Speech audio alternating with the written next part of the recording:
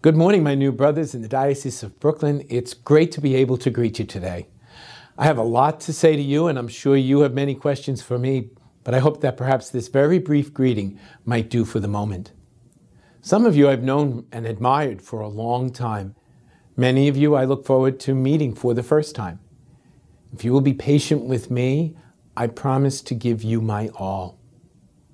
I have a lot to learn from you, the priest of the Diocese of Brooklyn from your wisdom and your experience. I need your help. One of the greatest sources of strength and joy for me in Columbus was the collaboration with our priest. In fact, I love them as my brothers, and I'm very sad to be leaving them. Please bear with that sadness and see in it a sign of my great confidence and my eagerness to know and love you to stand shoulder to shoulder with you in the work of the gospel. For now, let's be united in our fraternal prayers for one another. God bless you.